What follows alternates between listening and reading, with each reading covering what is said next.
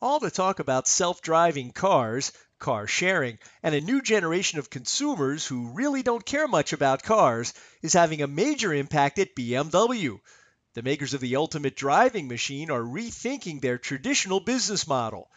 Looking to the future, BMW's managers are shifting the company beyond powerful combustion engine cars and toward software, vehicle electrification, and automated driving technology. CEO Harald Krüger says BMW is moving into a new era. That means a focus on high definition digital maps, sensor and cloud technology, and artificial intelligence, plus services such as urban parking assistance.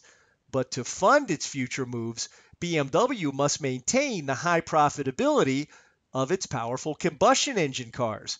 For Automotive Engineering Magazine, I'm Lindsay Brooke, and that's this week's SAE Eye on Engineering.